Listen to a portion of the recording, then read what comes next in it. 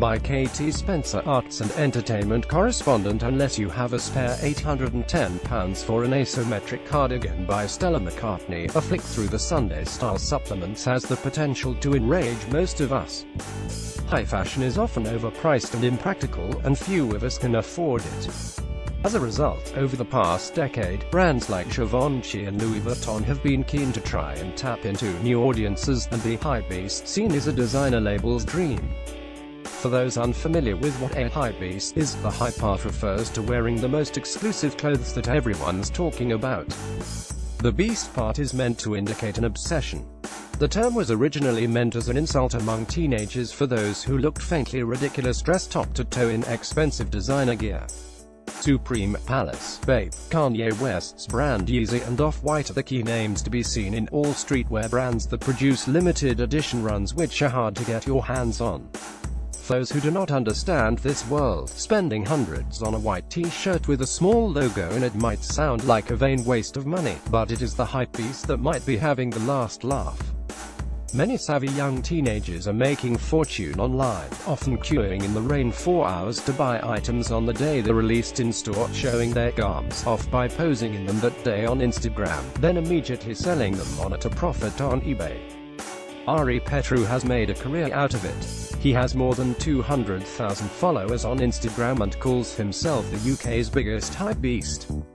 Got Bape on my back with smacked on me Gorilla 1 today's denim at DSR CV Petru 10 for discount money bag camera with flash at BX and MX clean a post shared by UK's biggest hype beast United Kingdom at Ara Petru on January 7, 2018 at 8am Pacific Standard Time he said, basically I take pictures, promote clothes and buy and sell clothes for a living. I started doing it because I wasn't making enough money out of my job and someone told me I could make money by buying shoes. I ended up making more doing that once or twice a week than working my job, so I quit. I have multiple sponsors from companies in Hong Kong now and massive companies in the States who pay me thousands to post pictures in their clothes and say, this is what I'm wearing today. It's got to the point where now I can just pay a kid to queue to get me the latest stuff, maybe 10 pounds, while I stay at home in my bed. The younger generation, they're just all doing it because it's like a hobby and you make money from it. Now I see so many groups of school kids that will go to shops like Supreme altogether, it's like their day out, and they've all made like 100 pounds or 200 pounds, and they're 13 year old kids, there are people that are like from bad backgrounds that have gone from selling drugs to selling clothes.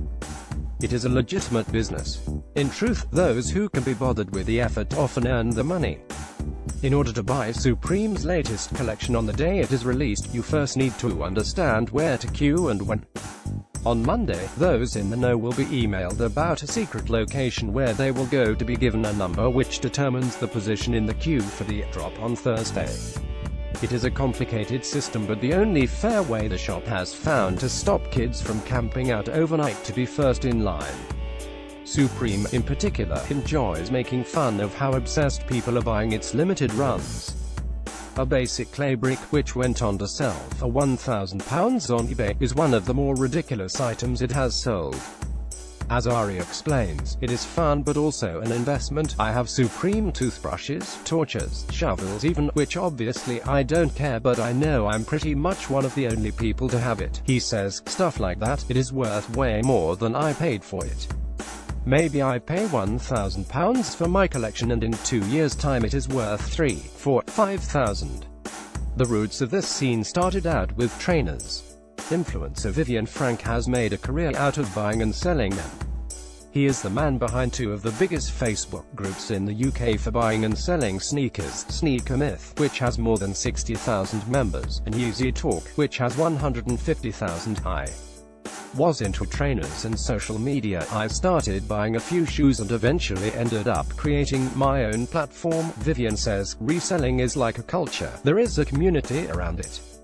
There are sneaker events, Facebook groups. I made most of my friends through sneakers. It's like a family sort of thing. Vivian says the key to making money is understanding which brands to invest in. For example, when I was in high school, I got a pair of shoes for £220 and they're like £7,000 now, he adds. I don't come from a rich background. Now I can buy a nice car and whatnot. I even help my parents out when they need money. For an insight into the hypebeast and sneaker scene, look for at Ara Petru and at Vivian Frank on Instagram.